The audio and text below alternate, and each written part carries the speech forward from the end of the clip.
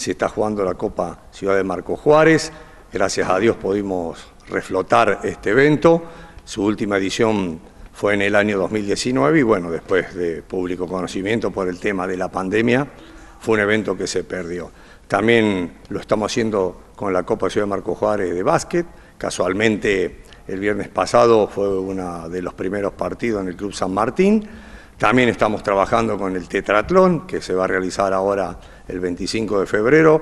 La verdad que eh, está muy movidito en lo que respecta a deportes. Bien, el básquet, una multitud, una cantidad impresionante de gente y un partido extraordinario. Un partidazo verdaderamente eh, porque se ganó por una diferencia de cuatro tantos, 88, 89, 85 a favor del Club San Martín.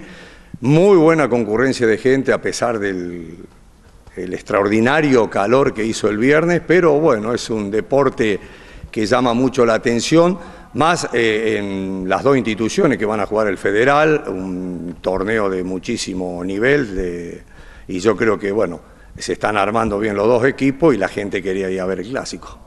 Bien, en fútbol ya comenzó y sigue esta noche. La verdad que en fútbol comenzó y también con mucho optimismo. Eh, se realizó el jueves, el primer partido fue el clásico entre el Club Villa Argentina y el Club Tiro Federal, ganó Tiro Federal 3 a 0, después lo hizo el Club Argentino junto con el Centro Deportivo Roca, que empataron 1 a 1, y bueno, hoy tenemos el clásico entre San Martín y Argentino, y en el primer partido va a estar jugando el Club Leones con eh, tiro federal.